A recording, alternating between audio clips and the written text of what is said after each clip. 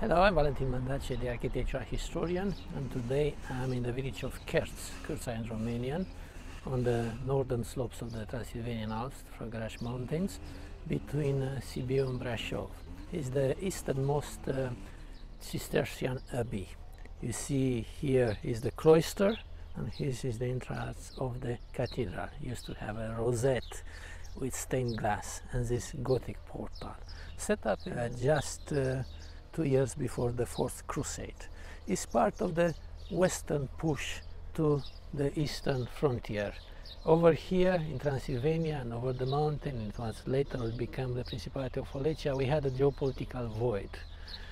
Uh, Transylvania was settled by the Hungarian, the medieval Hungarian kingdom.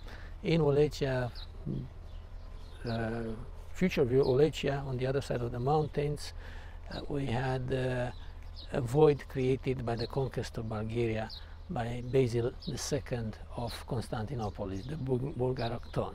So it was basically an empty land, open land, frontier land for the Western civilization, for the Western Church. Uh, it marks even today the influence of civilization over here, what is now Romania, which is a kind of articulation point between East and West. It's interesting that the Abbey Abbey will not resist too much. It will be a victim of the Tatar invasion of 1241 of Genghis and Batu Khan, and later on the Ottoman attacks.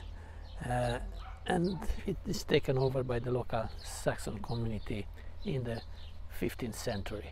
But as I said, it imprints even today the civilization of the area the Western civilization and the Western Church has even a more eastern push in Brasov, which is the German Kronstadt, with the setup of uh, the Black Church Cathedral, which is the easternmost Gothic cathedral of mainland Europe.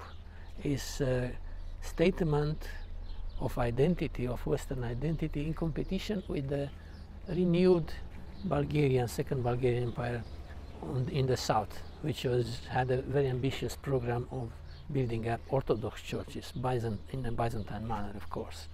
And uh, Brasov is a representative of that competition. But it starts with what you see here, this kind of glorious remains.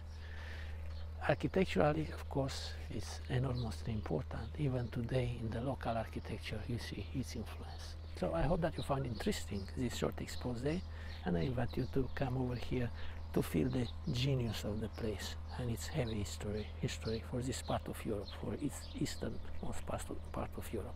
Thank you and bye-bye.